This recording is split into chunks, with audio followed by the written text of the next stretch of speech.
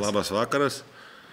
Noriu padėkoti e, pirmiausia mūsų klubo gerbėjim, kurie, kurie atėjo atsisveikinti su, su paskutiniam reguliaraus e, sezono rungtynėm namie. E, kai visada Jonavos fanai sukelia irgi gerą atmosferą, tai, tai buvo smagus palaikymas abiem komandom, o, o, o apie rungtynės, tai nežinau, kur šita komanda buvo pirmadienį. Tas liūdniausia, tai toksai yra kartėlis.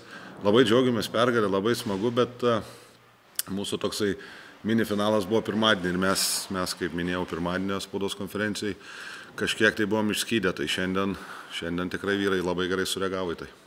Pamirštant tą kartelį, turbūt vienas geriausių rungtynių ne tik per šį sezoną, bet apskritai per keletą sezonų, kada neveži.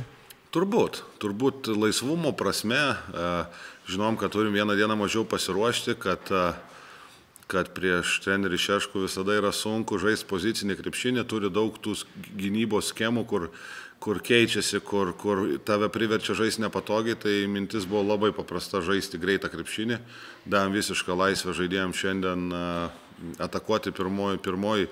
Mes visai ką kaip ir stengiamės atakuoti ankstyvojoje fazėje, bet šiandien iš vis leidom, leidom net per, per pirmas penkias sekundės jau mes tik krepšį.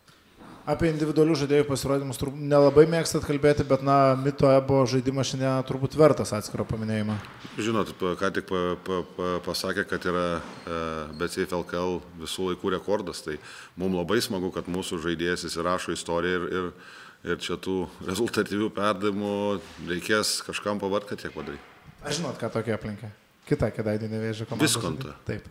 ir Edvardsas buvo. Edvardsą tai atsimenu senų laikų ir Viskonta, žinau.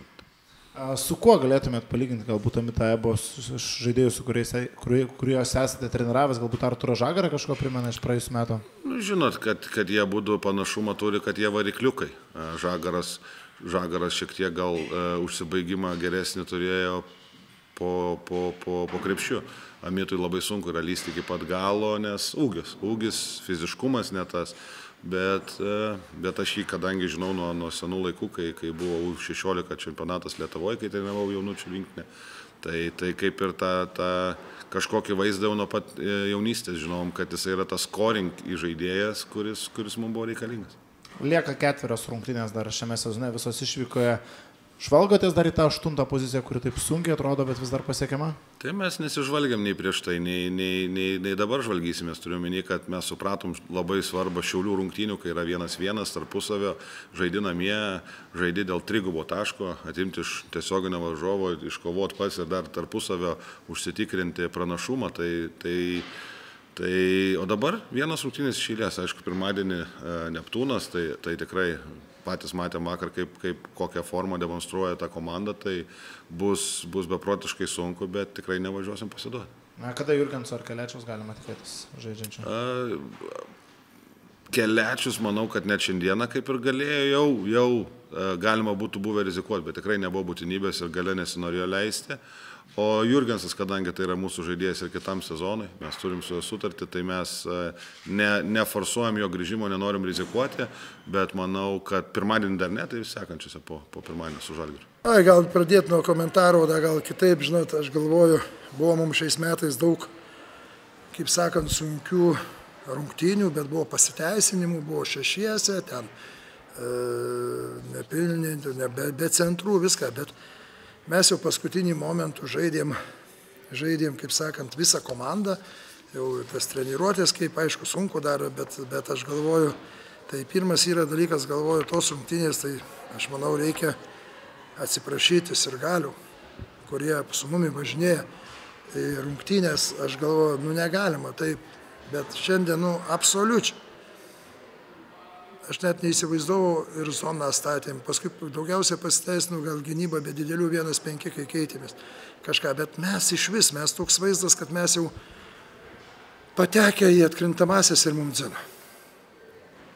Sakau, nu, labai man gaila, nes, nu, man, man sunku, aš įsivaizduoju, kaip tiem žmonėm, kurie serga už komandą, pirmą kartą mes ir kad pralaimėm žmonės, aš mačiau, eina iš salės, čia tikrai yra nepagarba, tikrai nepagarba yra savo, savo sirgaliam, čia aš manau, manau tikrai vyrai supras ir tai įvertins.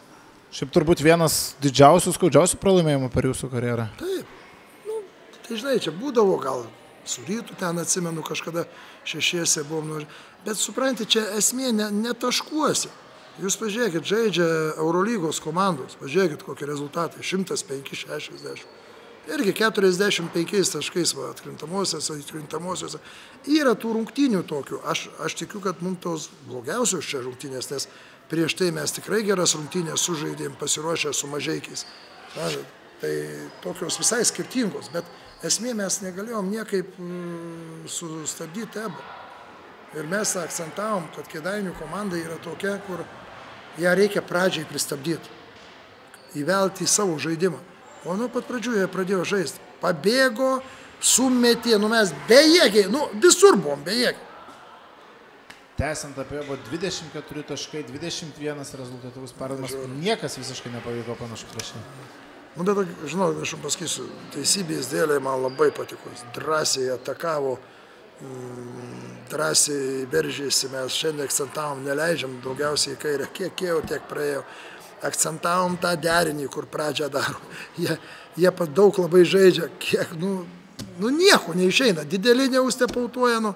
Aš sakau, būna tokio, aš, mes su treneriu išnekam savo, ką daryti. Aš būčiau žinojęs, kad tas rungtynės taip prasidės, tikrai būčiau pradėjęs mažų penketų ir būčiau e, keitęs į vienas penki. Tai bent tada mes būtum uždarę tuos tritaškius kažką, du taškai. O dar pažiūrėkit, jie suvarė mums 15 tritaškių, čia aišku pataikymas labai geras. Nu čia kėdainiuose, žinot, aš ir savo vyrams sakau. Meskit, jūs matyt, kaip traukia tie lankai, e, tai jie, jie savo ir jie tą supranta.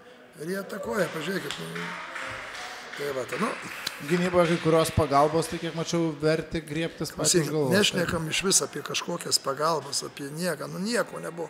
Patikėkit, buvo tik tai gale, kai vienas penki pradėjom keistis, buvo kažkokia, ko- kažką da jie gal jau suprato, kad kai buvo 40 virš taškų, kad tai vis dėlto yra per daug.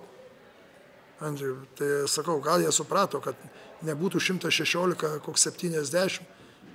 Nors čia skirtumas, sakau, leidom ir jaunus viską, bet nu, čia nėra, čia nerungtinė, čia aš, žinot, kaip pasakyčiau, pasivaikščiojimas.